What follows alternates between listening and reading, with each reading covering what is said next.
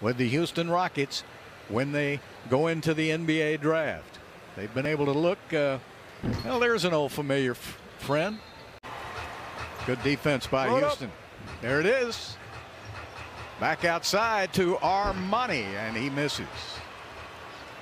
Hey, that's good, Biggin. No, I'm just teasing. I just want to see. He's asleep on the couch, probably. I want to wake him up. See if you can wake him up. Yeah.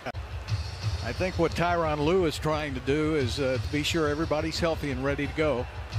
And Patterson, that's something he did after he left Houston was develop a three-point shot. Just an amazing coach. You know, for the young people that may be watching uh, back in that day, as the Clippers have the basketball again, back in uh, that day, he was one of the first uh, three-pointer good with the miss.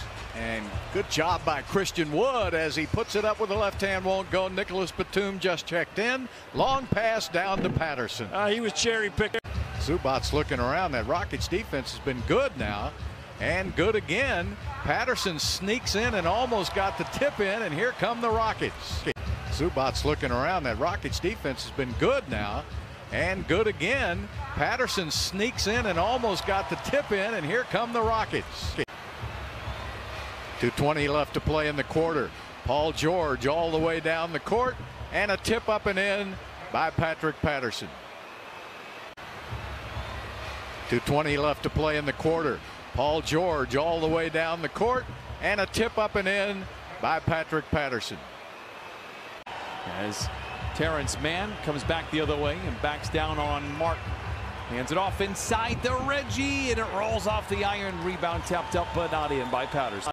As Terrence Mann comes back the other way and backs down on Martin.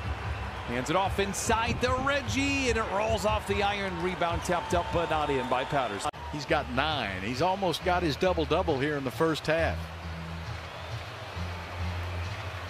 Batum. Patterson. Uh, the defensive boards are killing the. Ro- Batum. Patterson. Uh, the defensive boards are killing the Rockets. Yes, indeed. You know, he still has the opportunity later on to go in as a player. Yes. Yeah, and I think he's deserving as a player, especially if you think about you know what he did in college in Michigan and then his career in the NBA. He was a great player. Sam Jones was supposedly the best bank shooter in the game, but Rudy T's bank shot was second to none. I mean, he'd take you out 20 feet and bank it.